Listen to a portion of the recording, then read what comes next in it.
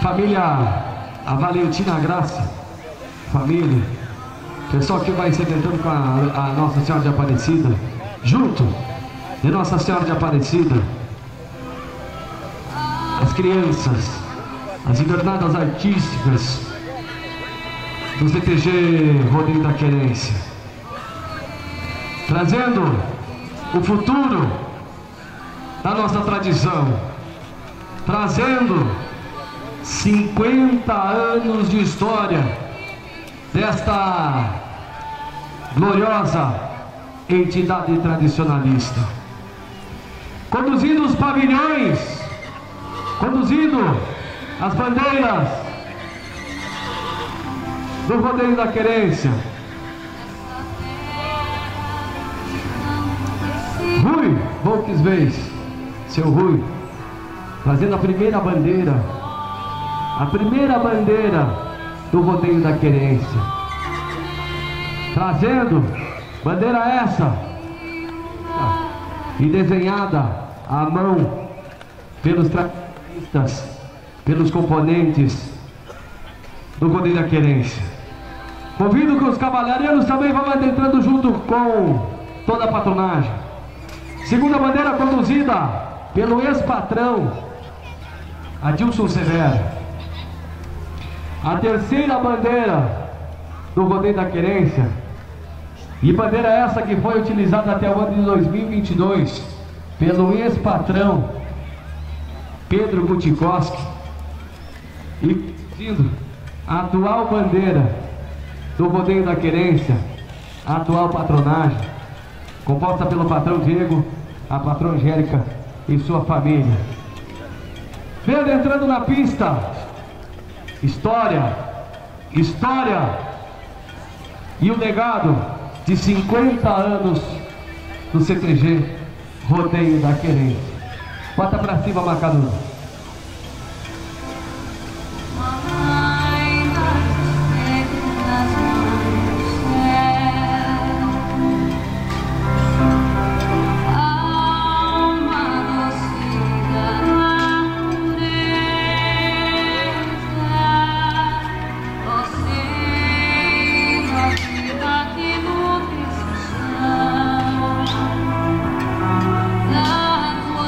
marcador.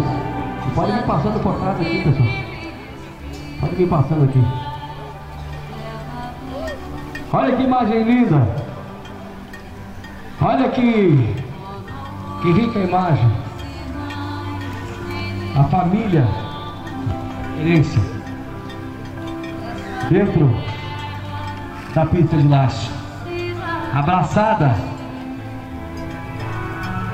pelos cavalarianos, laçadores, campeiros de toda a grande região que vieram e fazer a história do 23º Rodeio Crioulo do CTG Rodeio da Querência. Enquanto vão adentrando os cavalarianos, nós vamos agradecendo a presença de cada um de vocês que deixaram seus lares, que vieram fazer juntos a história, juntos vivermos a história de mais uma festa, de mais um rodeio. Bota para cima, marcador. Ele vai mim fazendo favor. Dessa maneira, nós iniciamos a oração da Ave Maria. Eu começo a oração da Ave Maria fazendo uma pergunta a cada um de vocês. Que você olhe para dentro de você nesse momento, nesse instante, que o pensamento a Deus e faz junto comigo um pensamento. Você já agradeceu hoje? Você já agradecimento hoje? Pela vida? Eu acho que nós temos muito mais a agradecer do que a pedir. Muitas vezes pegamos a Deus em momentos difíceis, em momentos que fogem de nossas mãos e daí se a gente lembra de Deus para pedir e pedir. Mas você hoje já agradeceu? Já agradeceu por você estar vivo? Já agradeceu pela sua família? Já agradeceu pelo seu trabalho? Tantas pessoas que que gostariam de estar trabalhando e infelizmente não podem, por alguma deficiência ou por algum problema, e não podem trazer o sustento às suas famílias. Então, eu acho que agora é hora de nós agradecer, a hora de nós levantar o nosso pensamento a Deus e agradecer por mais um dia, agradecer pela nossa saúde, saúde de nossos familiares, pensar em pessoas que não puderam nos acompanhar nesse rodeio, mas ficar em casa, torcendo por nós e esperando nosso retorno no domingo de tarde quando nós chegar em casa. Aí como é que foi de rodeio, deu tudo certo, tudo bem. Muitos correm, outros com aprendizado. Mas assim é a vida. Muitas vezes ganhamos, muitas vezes perdemos. E eu gostaria de convidar o meu colega Cristiano Santos para deixar a sua mensagem no momento da Ave Maria. É com o senhor, Cristiano Santos. Valeu, Luiz Henrique. Cumprimento a todas as pessoas que nesse momento estão com os seus olhares voltados para esta pista de rodeio. Se os olhares se voltam para esta pista de rodeio, o coração faz uma pergunta: o que será que vão falar para mim? Será que vão falar meu nome? Será que vão citar o nome de alguém da minha família? E esta semana que se passou, eu pedia para Deus esse momento aqui. Luiz Henrique Pegoraro é praticamente desta casa. Éter Novaes é também praticamente desta casa. Eu venho da nona região tradicionalista, trabalho em Panambi, moro em Condor, sou também da décima região, também da décima sétima região. Mas eu pedi para Deus esse momento. Sabe quando você dobra o seu joelho? Sabe, Cassiano? Quando parece que as coisas vão começar a dar errado. Eu vou fazer uma pergunta para você que está aqui. E quero que você não precisa responder em voz alta. Apenas pare para pensar. No mundo em que nós vivemos hoje, qual é o lugar mais rico? Você sabe responder essa pergunta? Você já se fez essa pergunta? Qual é o lugar mais rico? na face desta terra. Vamos fazer, vamos trazer mais perto da gente. Qual é o lugar mais rico que a gente tem? Muitos vão dizer: a minha casa, o meu trabalho, a minha igreja, o campo de futebol, o meu time de futebol. Eu vim aqui dizer para vocês hoje que o lugar mais rico que a gente tem é o cemitério. O Cristiano tá louco está falando besteira. Mas é o cemitério, o cemitério e eu posso provar. Porque é lá, no cemitério, que está sepultado empresários, idealizadores, sonhadores. Deixa cair para mim, Macanudo, vem junto comigo nessa. É lá no cemitério, aonde está aquele tradicionalista que sonhou em ser laçador, mas em um dia de rodeio ao sair do brete, o seu laço arrebentou, a sua égua rodou com ele, o derrubou, e ali acabou aquele sonho. E talvez ele tenha ido para o cemitério, levando aquele sonho de ser laçador junto com ele. Quantos talvez estejam em um cemitério e tenham levado junto consigo, tenham levado junto consigo o sonho de ser narrador pegoraro? Quantas pessoas sepultadas foram e levaram o ser patrão de uma entidade, de ser capataz de uma entidade, de ser alguém nessa vida. Eu vim aqui para dizer para você que somos responsáveis por um divisor de águas na vida das pessoas que encontraremos pelo caminho. Se você falar que ele não acha bem, ele vai sair daqui dizendo que ele não acha bem e talvez nunca mais pise num rodeio, pipoca. Se você falar para ele que o lenço está mal amarrado e não ajudar ele amarrar o lenço, ele jamais vai querer colocar novamente um lenço no pescoço. Quantos sonhos nós estamos sepultando, quantos sonhos nós estamos deixando de lado, quantas pessoas empunham? Vivem momentos, pregam tantas coisas lindas, falam de empatia, falam de reciprocidade, mas não conseguem abraçar uma pessoa que nunca viu na vida. A gente não sabe perder. Eu não sei perder. Eu aprendi preciso vencer, que eu não sei perder, e eu não sei perder. Mas como é bom quando me abraçam quando eu perco alguma coisa. Como é bom quando olham para mim e dizem que eu sou capaz de fazer alguma coisa. A gente se preocupa com tantas coisas. A gente se preocupa se pagamos já a internet ou não, porque senão vão cortar a minha internet. A gente se preocupa, guardamos o dinheiro para ir para a praia, porque eu preciso ir para a praia para postar uma foto e botar no família para provocar aquela cunhada ranzinza. A gente se preocupa em tirar foto daquele ponto turístico bonito onde a gente passou, postar na internet para que vejam que eu tenho condições e tenho dinheiro de viajar. Mas a gente deixou de se preocupar com aqueles que a gente ama. Quantas pessoas aqui, se fecharem os olhos, vão lembrar esta semana que se passou agora, durante o chimarrão no final de tarde, cada um no seu celular.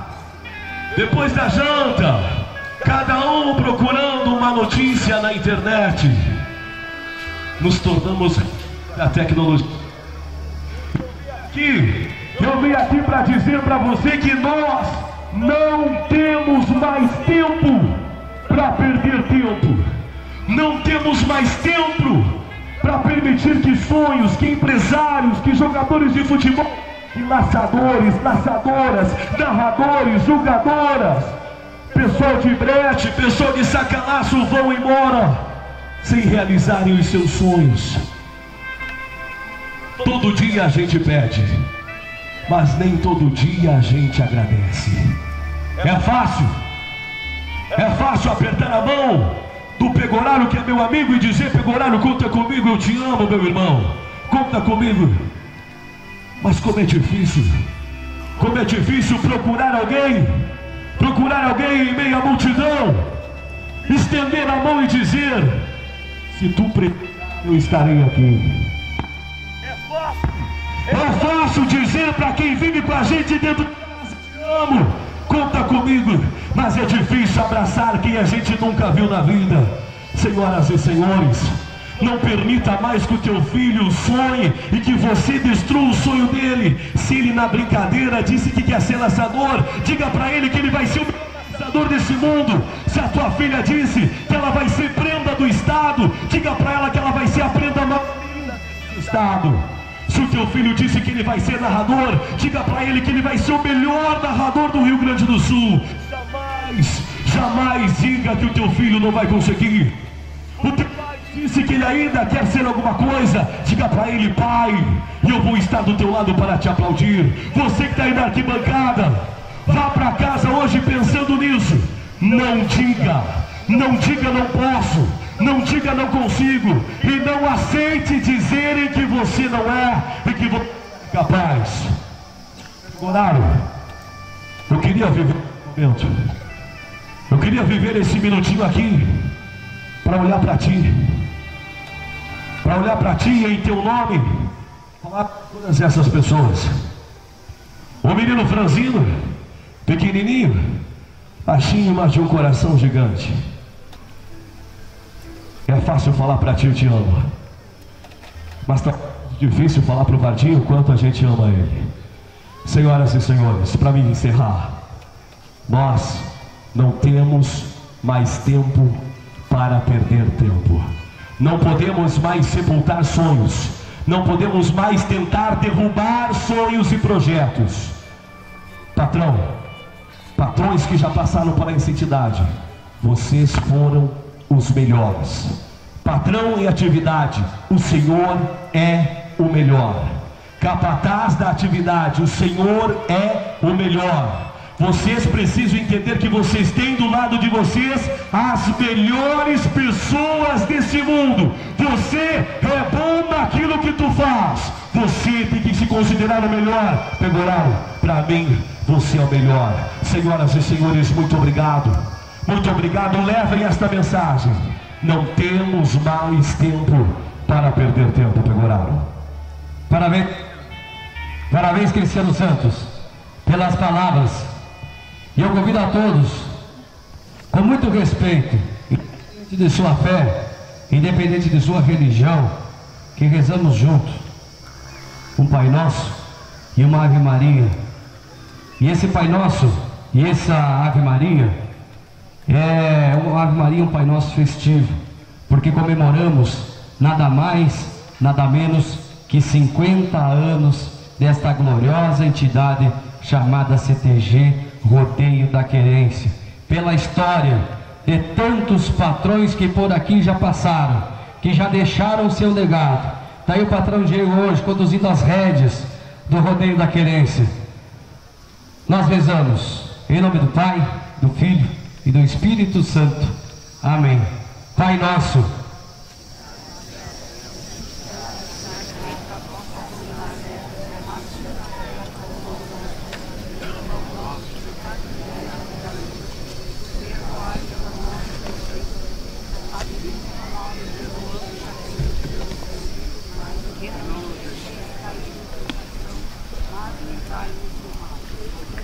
Ave Maria.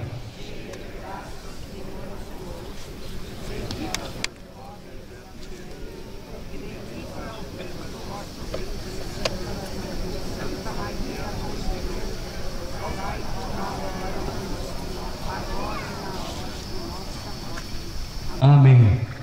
Vem caindo a noite, nessa tardezinha, nesta lusco-fusco da tardezinha para a boca da noite. E quem acredita em Deus, ó, levanta a mão direita bem alta, lá em cima. Quem acredita em Nossa Senhora de Aparecida, protetora do ginete, padroeira do nosso Brasil, levanta a mão esquerda bem lá em cima. E juntos, uma forte salva de palmas a esse momento da nação da Maria. Parabéns, poder da querência. Vida longa, que muitos e muitos anos nós possa estarmos aqui comemorando essa aniversário da entidade trazendo história de mais e mais rodeios. Gostaria de aproveitar esse momento e também que já estamos todos reunidos aqui para nós fazermos a abertura, abertura oficial do rodeio. Vamos fazer a abertura oficial do rodeio convidando. Convido o patrão para estar junto comigo aqui, o patrão Diego. Também convido o capataz Cassiano, Cassiano Grassi. Também convido o representante da administração municipal, representante do, do, do, nosso prefeito, do vice, algum representante da. E também o representante da, do Poder Legislativo da Câmara de Vereadores. E convido também o coordenador da 28 região para que juntos com a gente nós possa fazer a abertura do 23 rodeio. Vem cá, patrão. Vem cá junto com nós. E já de imediato, já passou a palavra para o patrão Diego. Boa tarde a todos, a todos que estão aqui com a gente nesse momento muito especial. Me permitam alguns aqui ficar de costas para vocês nesse, nesse momento que para nós é de extrema importância, uh, enquanto a gente dobra aos, os joelhos em agradecimento a esse grande rodeio crioulo. E eu acho que a, a primeira coisa que devo fazer agradecer a Deus por esses tantos dias de trabalho com uma equipe maravilhosa CG Rodeio da Querência, para que a gente pudesse trazer até vocês esses dias de rodeio. É, hoje, para nós é um dia é um momento muito especial, porque no ano de 2023 nós estamos comemorando 50 anos da nossa entidade. E quando a gente trouxe uns patrões até aqui, quero citar também seu Valmor Pavan, nosso também sempre patrão.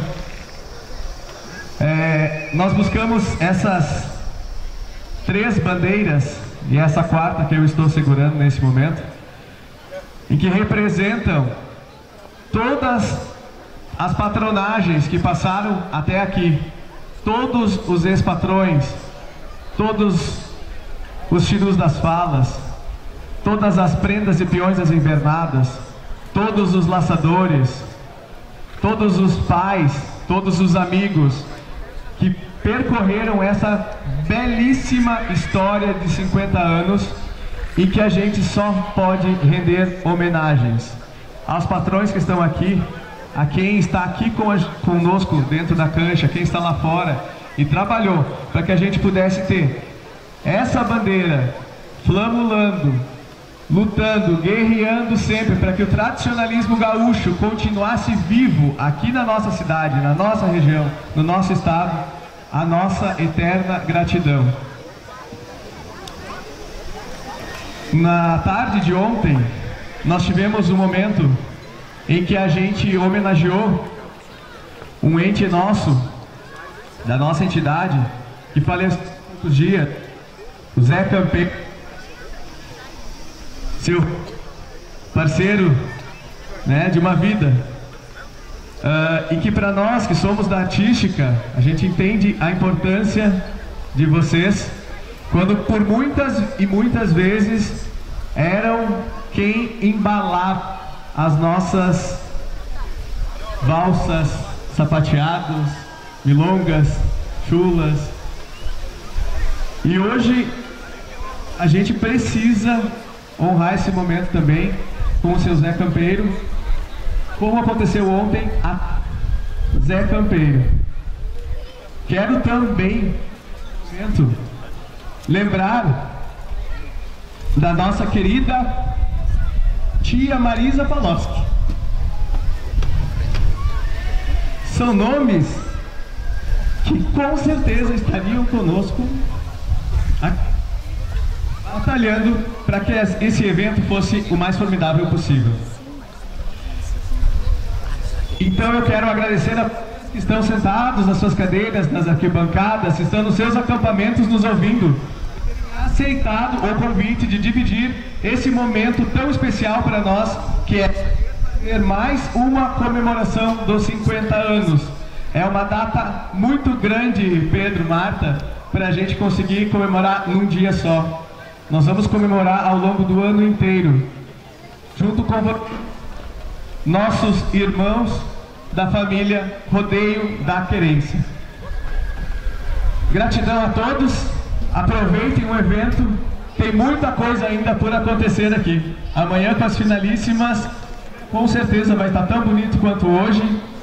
Tenho que agradecer a todos os nossos parceiros, patrocinadores, apoiadores, aos pais das invernadas, aos membros das invernadas que estiveram com a gente no, na campeira nessas últimas seis semanas trabalhando aos laçadores, aos, aos proprietários dos ranchos, quem tem cavalo nas cocheiras, enfim.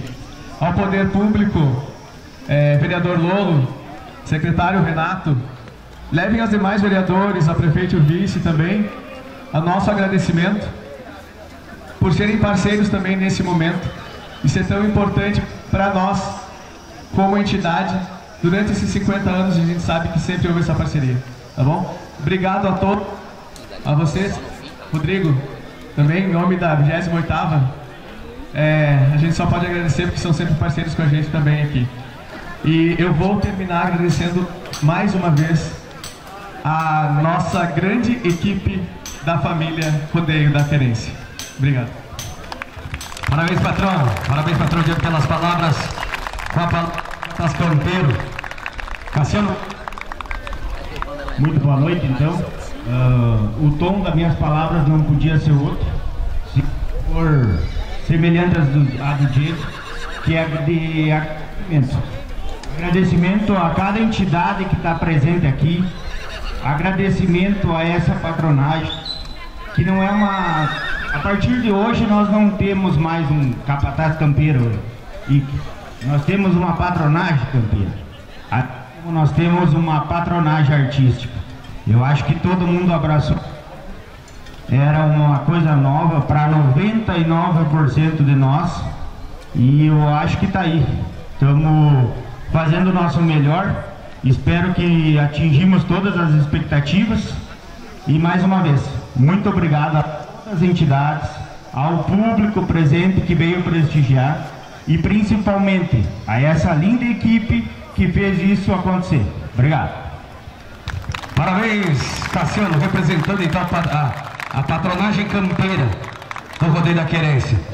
Convido o coordenador Rodrigo, e junto com o coordenador Rodrigo eu chamo o Silvio Rossato, o conselheiro da 28ª região, para juntos aproveitarmos esse momento e fazer homenagem à Prenda Thaís de Souza, que na última festa campeira, final de semana passado, conquistou o prêmio de Rédeas Prenda, campeã estadual, representando Piquete Alto Alegre, representando Frederico e levando o nome da 28ª região ao, ao pódio da, da festa campeira do estado. Eu passo a palavra ao coordenador Rodrigo.